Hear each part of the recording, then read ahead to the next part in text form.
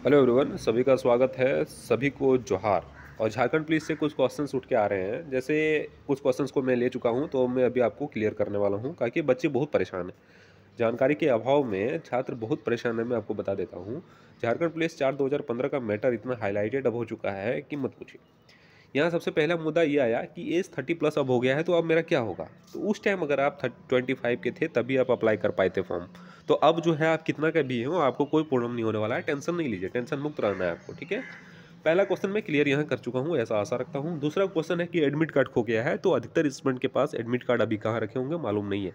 लेकिन admit card खोने की स्थिति में आपके साथ यही हो सकता है कि आयोग एक पोर्टल जारी करेगी, वहाँ से आपको रोल नंबर, रजिस्ट्रेशन नंबर, जो भी आपका डिटेल्स था, वो देने का प्रयास करेगी। तो यहाँ पे भी आपको दिक्कत नहीं होना चाहिए। दूसरा नंबर भी आपका क्लियर हो गया होगा। लिस्ट कैसे निकलेगा? तो वो देखिए, समीकृत सूची या सेकंड लिस्ट का बात हो रहा है। तो समीकृत सूची जो है या सेकेंड लिस्ट कुछ भी लिस्ट निकले, आपका सिलेक्शन हो जाना है, क्योंकि नंबर ऑफ़ कैंडिडेट्स जो है, वो कम है number of student number of seats के मुकाबले। तो यहाँ भी आपका क्लियर हो गया होगा। जब बच्चे कम हैं सीट ज़्यादा है तो आपको कहाँ परेशान होना है भाई? सबका ज्वाइनिंग होगा। कैसे भी लिस्ट निकले। केस में ऐड होना है तो परेशान नहीं होइए, केस में ऐड होकर कोई फ़ायदा नहीं है। पंचायत सचिव का अभी जीता जाता उदाहरण आप देखिए, कुछ लड़के जो है लेके सुप्रीम कोर्ट गया था, लेकिन डिसीज़न क्या हुआ? सबका आया। उसी तरह आपका भी होना है, महिला सीट मिलेगा तो सबको मिलेगा, नहीं मिलेगा तो किसी को नहीं मिलेगा। डॉक्यूमेंट वेरिफिकेशन कितना हुआ था? तो आपको पिछला कुछ भी आपको नहीं देखना है। मेडिकल क्या हुआ? डॉक्यूमेंट वेरिफिकेशन, पीटी, मेंस, कुछ भी नहीं देखना है आपको। सिर्फ़ इतना मान के चलिए कि आप अगर यहाँ खड़े हैं, अगर जजमेंट आ जाता है आपके पक्ष में तो आपका नौकरी पक्का है। बस इतना ही मान के चलिए। मेडिकल होगा क्या? तो मेडिकल देखिए हंड्रेड परसेंट होगा मेरे ख्याल से, क्योंकि एक साल अगर डिफेंस में आपका टाइम हो जाता है तो उस स्थिति में मेडिकल सभी स्टूडेंट्स का लिया जाता है। तो आपको ये भी क्लियर हो गया होगा कि मेडिकल होना है, लगभग लगभग तय है। सुप्रीम कोर्ट को क्या जैसे जवाब दिया है तो वो कोई नहीं बता सकता, क्योंकि जवाब जो है जेएसएससी और हमारे कार्मिक विभाग मतलब सरकार को देना है और क्या जवाब रहेगा, ये कहना मुश्किल है अभी। और मैं आपको बता दूँ कि वो फिजिकली जाके वहाँ जवाब देंगे, कोई लेटर वगैरह भेजना नहीं है। फ़िज़िकल जाएँगे उनको वहाँ पे बताएँगे।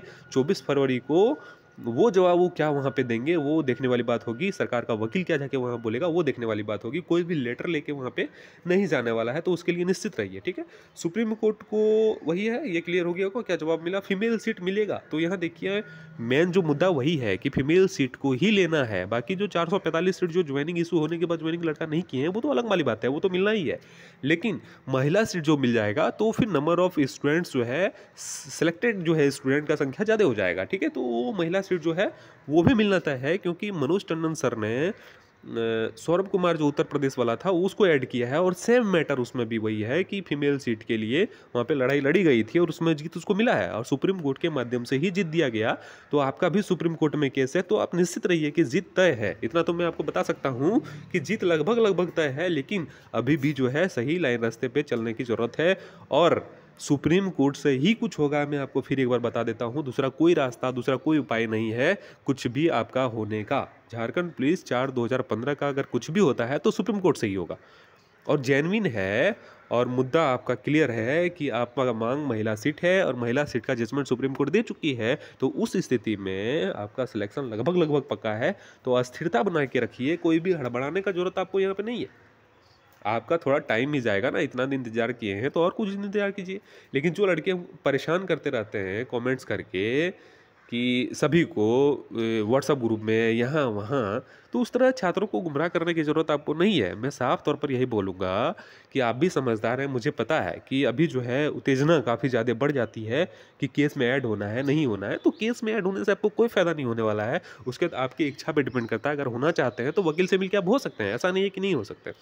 हो जाइए ऐड। लेकिन फ़ायदा जो है वो नहीं पहुँचने वाला है, क्योंकि फ़ायदा जो है वो सबको पहुंचेगा।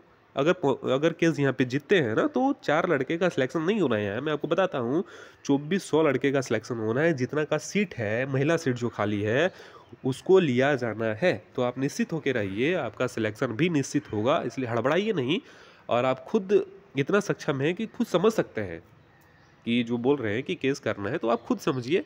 हड़बड़ाइए नहीं, मैं जानता हूँ कि आप एक्सपीरियंस हैं, आपको मालूम है, फिर भी उत्तेजना के चलते आप परेशान होते हैं इधर उधर कमेंट वगैरह करते रहते हैं तो इस तरह से कोई फ़ायदा नहीं है। आप आराम से सिलेक्शन आपका होगा।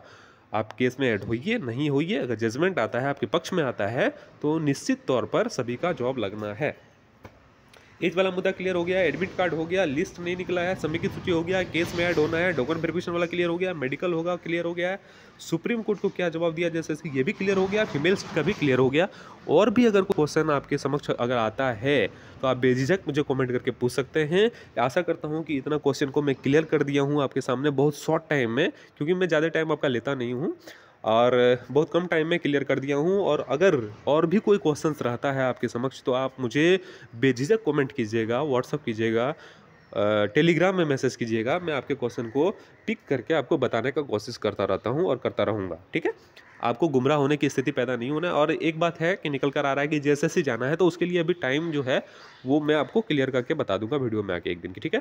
कि किस दिन जैसे जाना है। जैसे जाने से फ़ायदा आपको यही होगा, मैं आपको बताता हूँ कि वहाँ के जो चेयरमैन हैं और हमारे कार्मिक विभाग, वहाँ पर अगर आपके बात से कन्वेंस हो जाते हैं तो हो सकता है कि वो अपने वकील को कह के 24 फरवरी का जो वो लड़ाई लड़ने वाले हैं, उसमें थोड़ा ढीलापन वो छोड़ दे। ऐसा संभव कम है, लेकिन हो सकता है। मैं आपको संभावना में बात कर रहा हूँ कि हो सकता है ऐसा। तो जाने से क्या दिक्कत है? अगर नंबर ऑफ़ स्टूडेंट ज़्यादा होंगे तो वहाँ जाके घूम के आने से क्या दिक्कत है? एक बार मिल लेने से क्या दिक्कत है? क्योंकि ये अंतिम लड़ाई है। इसके बाद फिर आपको जाने का ज़रूरत नहीं पड़ेगा। मैं आपको बताता हूँ। क्योंकि सुप्रीम कोर्ट की लड़ाई स्टार्ट होगी। उसके बाद सुप्रीम कोर्ट में जो वकील, सरकार वकील और आपके वकील जो भी निर्णय लेंगे, उसके बाद ही देखा जाए उसके बाद रांची क्यों आना है वहाँ? जैसे से मिलने के लिए और कार्मिक से मिलने के लिए। जो भी होगा ये लास्ट होगा। तो मिलजुल के बड़े संख्या में आएँगे। जो भी डेट निर्णय यहाँ पर लिया जाएगा। बड़े संख्या में स्टूडेंट आएँगे तभी वहाँ जे को झुकाया जा सकेगा और जे अच्छे तरीके से वहाँ जे में जाके बात किया जाएगा कार्मिक में बात किया जाएगा।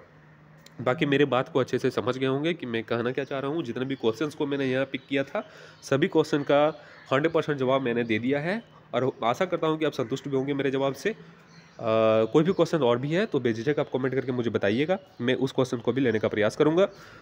बहुत सारे क्वेश्चन छूट गए हैं। मैं जानता हूँ बहुत सारे क्वेश्चन छूट गए हैं तो धीरे धीरे मैं पूरा क्लियर कर दूँगा। इसके लिए आप निश्चित रहिए। चैनल पे अगर न्यू है तो चैनल को सब्सक्राइब अवश्य कर लीजिएगा बेल आइकन को दबा लीजिएगा। मिलते हैं आप सबसे एक नेक्स्ट वीडियो में इसी तरह इंपॉर्टेंट वीडियो के साथ। आप सभी का धन्यवाद, आप सभी का शुक्रिया। वीडियो देखने के लिए तहे दिल से धन्यवाद आपका।